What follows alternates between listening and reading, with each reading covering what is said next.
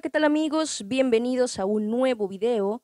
El día de hoy hablaremos sobre las vitaminas B1, B6 y B12, las cuales forman parte del llamado complejo B, el cual es muy importante en nuestro organismo, ya que éste se encuentra participando en múltiples funciones de nuestro cuerpo, dentro de las cuales destacan las relacionadas con nuestro sistema nervioso. Pero antes de comenzar con este video, es muy importante que no olvides darle clic al botón de suscribirse para formar parte de esta gran comunidad en la cual estamos hablando acerca de temas médicos de interés público, de los cuales muchas veces tenemos dudas y que para mí es un placer poder explicarte de la manera más sencilla y entendible posible. Y si además de formar parte de esta gran comunidad gustas estar al tanto de los nuevos videos del canal y no perderte de ninguno de ellos, puedes activar la campanita de notificaciones para que así YouTube pueda avisarte de forma directa sobre los nuevos videos. Ahora bien, una vez dicho esto, comencemos con este video. El complejo B es un conjunto de vitaminas, las cuales al funcionar de manera conjunta han demostrado producir un efecto analgésico el cual se encuentra principalmente encaminado en disminuir el dolor de tipo neuropático. En este caso, el Neurobión DC es un medicamento que se encuentra constituido por las vitaminas del llamado complejo B.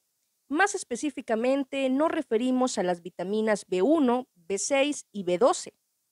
La principal diferencia que existe entre el neurobión clásico y esta versión de neurobión DC corresponde a que esta versión, al encontrarse en presentación inyectable, cuenta con cantidades o más específicamente con una dosis mucho más alta de estas vitaminas. En este caso, tenemos que el neurobión DC se encuentra constituido o formado por la llamada tiamina, la piridoxina y la cianocobalamina, la cual también es conocida con el nombre de hidroxicobalamina o cobalamina. A la tiamina también se le conoce con el nombre de vitamina B1. En el caso del neurobión DC, tenemos que contiene 100 miligramos de vitamina B1. De la misma manera, también tenemos que contiene vitamina B6, la cual corresponde a la piridoxina. En este caso, el neurobión DC contiene 100 miligramos de vitamina B6 o piridoxina. Y por último, tenemos a la vitamina B12, también llamada o conocida como cianocobalamina. En este caso tenemos que la presentación de neurobión de C contiene miligramo de cianocobalamina. Ahora bien, generalmente la presentación de neurobión de C, al ser un medicamento inyectable, se encuentra indicado en situaciones en las cuales se requiere una mayor cantidad de vitaminas del complejo B. Tales situaciones se encuentran relacionadas principalmente con la presencia de dolor de tipo neuropático. Esto quiere decir que es un tipo de dolor que se presenta a nivel de nuestros nervios, el cual en la mayoría de los casos suele ser un dolor de tipo intenso, por lo cual además de utilizar vitaminas B, también se requiere la utilización de manera conjunta de otros medicamentos que contribuyan a disminuir al máximo posible la presencia de dolor neuropático. Por lo cual, si nosotros nos encontramos en esta situación, siempre es muy importante acudir a valoración médica, ya que esto nos va a permitir poder determinar la causa precisa por la cual se está presentando este tipo de padecimiento y el cual puede variar de persona a persona. Por ejemplo, tenemos que existen personas que cursan o que padecen de neuropatía ocasionada por un descontrol en sus niveles de glucosa. Estos pacientes suelen ser diagnosticados con neuropatía diabética. La neuropatía diabética es una de las principales complicaciones con la cual cursa el paciente diabético. A lo largo de todo nuestro cuerpo existe la presencia de los llamados nervios periféricos. A menudo la manera en la cual estos nervios se distribuyen a lo largo de todo nuestro cuerpo suele ser comparado con la manera en la cual se distribuye un cableado. Esto quiere decir que cada nervio tiene un lugar específico al cual dirigirse, por lo cual cada uno cumple con funciones específicas de acuerdo a la región del cuerpo a la cual pertenezcan. En el caso de los pacientes diabéticos, el nervio que generalmente suele ser afectado es el nervio ciático. La importancia del nervio ciático radica en el hecho de que este es el nervio más grande con el que cuenta nuestro organismo y que además de esto, al ser un nervio de tipo mixto, se encuentra involucrado en dos funciones importantísimas, como lo son, por ejemplo, el movimiento de nuestras extremidades inferiores, así como el hecho de que nos permite percibir las sensaciones procedentes desde nuestros miembros inferiores, como lo son, por ejemplo, las piernas y nuestros pies. Por este motivo, la llamada ciática generalmente es la responsable del mayor número de caídas que se presentan en el adulto mayor con presencia de neuropatía diabética. Ahora bien, es muy importante resaltar que una neuropatía diabética no se presenta de la noche a la mañana, sino que para desarrollarse requiere de una serie de factores dentro de los cuales destacan la presencia de un descontrol de nuestras cifras de glucosa, lo cual a menudo es ocasionado por una falta de apego a nuestros tratamientos encaminados en el control de la glucosa o inclusive porque nos cuesta trabajo seguir las indicaciones nutricionales encaminadas en una dieta baja en glucosa, lo cual trae consigo la aparición de los primeros síntomas de neuropatía diabética, los cuales se encuentran relacionados con la presencia de sensación de hormigueo en nuestras piernas o en nuestros pies, o inclusive puede presentarse sensación de ardor en la planta de los pies y en algunas otras personas presencia de dolor, los cuales en un comienzo generalmente no suelen ser síntomas incapacitantes para el paciente, pero con el paso del tiempo y sobre todo si no nos cuidamos o si no acudimos a nuestras revisiones médicas, estos síntomas tienen tendencia a ir aumentando progresivamente. Y esto se debe a que los niveles elevados de glucosa con el tiempo provocan que nuestros nervios vayan perdiendo la capacidad de conducir los impulsos nerviosos procedentes de nuestro medio exterior hacia nuestro sistema nervioso central, el cual se encuentra constituido por nuestra médula espinal, así como por el encéfalo o el cerebro. En términos más sencillos, esto quiere decir que debido al daño provocado por la glucosa a nivel de las capas que constituyen al nervio, este va perdiendo su capacidad sensitiva. Y esto en la mayoría de los casos suele ser la causa directa que propicia la aparición de úlceras o llagas en los pies de los pacientes diabéticos.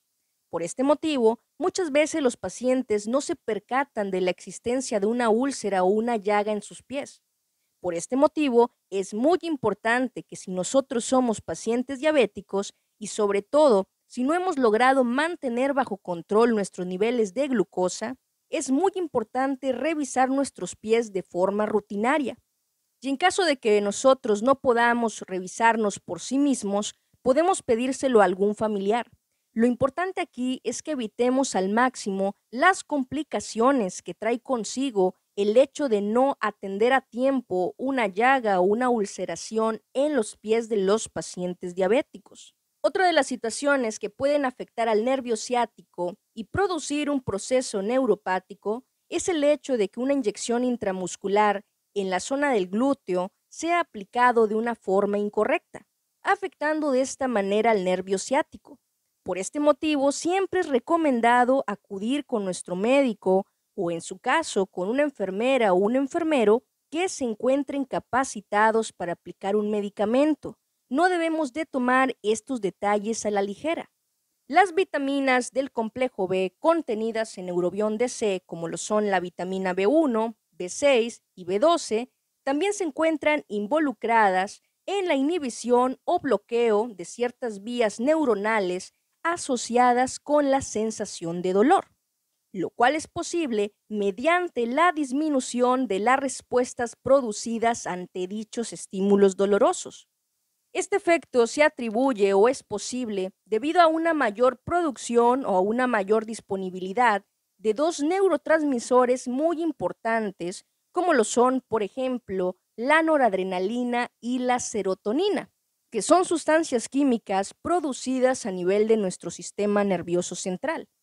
y cuya deficiencia se ha asociado con una mayor probabilidad de cursar con depresión e inclusive se encuentran asociadas con la presencia de neuralgia del trigémino, así como la presencia de parálisis faciales, las cuales en la mayoría de los casos suelen ser ocasionadas por la presencia de un estrés muy intenso. Debido a la naturaleza tan compleja con la cual cursan estas enfermedades, a menudo, además de las vitaminas B, se requiere un manejo terapéutico que involucre el uso simultáneo de varios medicamentos, por lo cual si en estos momentos te encuentras cursando con alguna de estas enfermedades, es muy importante que acudas a valoración médica. El nervio trigémino es un nervio de tipo mixto, el cual se encuentra localizado en nuestra cara de forma lateral. Al ser un nervio mixto, se encuentra encargado no solo del movimiento llevado a cabo por los músculos encargados del proceso de la masticación, sino que también interviene en el movimiento de nuestros párpados, por mencionar algunos ejemplos. Asimismo, también es responsable de la función sensitiva de nuestra cara. Por tal motivo, cuando estos nervios se encuentran dañados como consecuencia de la aparición de procesos inflamatorios que provocan que la conducción del impulso nervioso a través del nervio sea mucho más lento, lo cual ocasiona presencia de flacidez o pérdida de fuerza muscular para poder llevar a cabo una correcta movilidad de los músculos pertenecientes a la rama del nervio que se encuentra siendo afectada, las vitaminas B1, B6 y B12, al actuar de forma conjunta, ejercen una función antiinflamatoria. Dicha acción antiinflamatoria se ve potencializada por la acción de forma conjunta con otros tipos de fármacos encaminados en disminuir el dolor neuropático. Y no solo eso, sino que algunos estudios han asociado el uso de vitaminas B1, B6 y B12 con una menor probabilidad de padecer nuevos episodios de dolor asociados a procesos inflamatorios producidos a nivel de nuestros nervios. De la misma manera, el uso de vitaminas B1, B6 y B12 también influye en la duración con la cual cursa el dolor neuropático. Por lo tanto, la utilización de vitaminas B1, B6 y B12 durante el curso de estas enfermedades contribuye a disminuir la duración y la intensidad del dolor. Por todo esto que ya te he comentado, las vitaminas B1, B6 y B12 también son utilizadas en el llamado síndrome de hombro doloroso, en el cual hay presencia de dolor e inflamación que provocan una incapacidad para poder llevar a cabo movimientos en los cuales se encuentren involucrados el hombro. De la misma manera, otra de las situaciones en las cuales puede ser utilizado son en la polineuropatía, que se produce en los pacientes que han consumido alcohol por largos periodos de tiempo, así como también en la neuralgia intercostal y en la neuralgia posherpética. En cuanto a las precauciones o advertencias que debemos de tomar en cuenta al momento de utilizar el neurobión DC, se encuentra principalmente el no utilizarlo si nosotros somos alérgicos a algún componente del complejo B, llámese vitamina B1, vitamina B6 o vitamina B12. Si somos alérgicos a alguno de estos tres vitaminas, lo más recomendable es no utilizarlo. Asimismo, también tenemos que no debe de ser utilizado en adolescentes menores de 14 años, además de que su uso no se encuentra recomendado durante el embarazo. En cuanto a las reacciones secundarias que se pudieran presentar en algunas personas, estas resultan ser mínimas en la gran mayoría y suelen ser principalmente del tipo gastrointestinal, como lo son, por ejemplo, la presencia de náusea, vómito o dolor abdominal.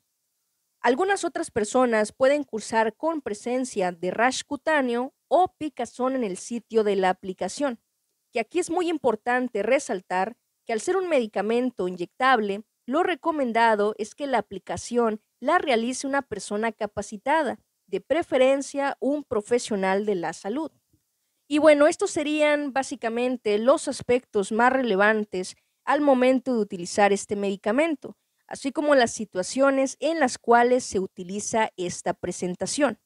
Espero que este video haya sido de tu agrado. Como siempre, les damos las gracias por acompañarnos en todos nuestros videos.